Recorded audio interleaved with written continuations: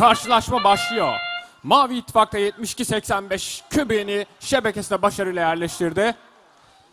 Ve şimdi bir koni alıp geri döndü ve onu da başarıyla şebekesine yerleştiriyor. Kırmızı İttifak'ta şu an robotlar hareket etmiyor. Ve otonom sürüş sona erdi. Sürücüler kontrolü aldı.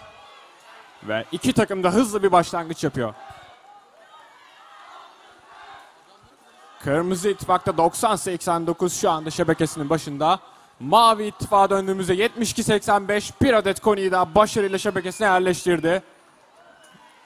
Ve sahaya gelip şimdi bir adet koni almayı daha deneyecek. Bu sırada 77-48 Human Player'den bir adet kübik almayı deniyor. Ve o sırada 72-85 bir adet koniyi daha başarıyla yerleştiriyor. Sağ ortasında 91-24 defans yapmaya çalışıyor. 77-48 kübiğini almış ve şebekesine doğru harekete geçecek şimdi. Kırmızı ittifakta 90-95 72-85'e geçit vermiyor. Ancak 72-85 şu anda şebekesini başında ve başarıyla yerleştiriyor.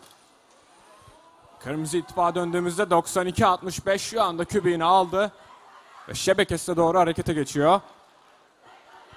72-85'te mavi ittifakta kübiğini aldı ve şebekesine doğru yaklaştı.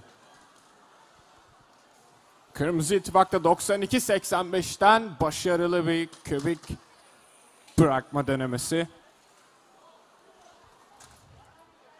Ve şu anda mavi ittifakın iki robotu da yükleme alanına gelmiş durumda. 77-48 başarılı bir şekilde Human Player'dan kübini aldı. Şebekesine doğru harekete geçiyor. 72-85 kübü ile beraber şebekesine geldi. Ve başarılı bir şekilde yerleştiriyor. Sağ ortasında 90-95 ve 77-48 arasında bir mücadele. Ve son 30 saniyeye giriyoruz. 77-48 şu anda kübü ile beraber şebekesinin başında. 72-85 hızla geliyor. Kırmızı ittifağa döndüğümüzde şu an iki robot istasyona kenetlenmeyi deneyecek.